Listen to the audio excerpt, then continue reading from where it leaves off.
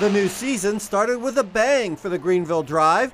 The team raised the banner from last year's championship, passed out rings to returning players, and accepted the trophy for the best franchise in minor league baseball. Yes, it was awarded to the Greenville Drive, but really it's it's an award that the city of Greenville and the upstate community really had a hand in. I had to switch to a clear bag, and I'm supposed to take the other one back. Mary Jane Ames and other fans were left holding the bag at the front gate. This year, clear bags are the only ones allowed inside. I don't like it, but since everybody's doing it, NHL, a hockey team across town, at least they're all the same size. So it's probably a good thing. Enjoy the game. The new season is also bringing new perks to the ballpark, including a new picnic area along the right field line with dozens of tables.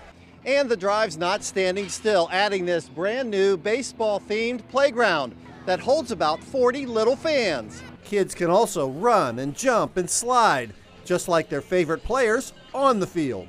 It's really great. It's good for um, her age. She's only a year and a half, and so it's perfect for that kind of scenario. Team management says the drive is on a roll, winning awards and winning with fans, and want that to continue. After all, last year the team set the bar pretty high. John Lyon, WYFF News 4, Greenville.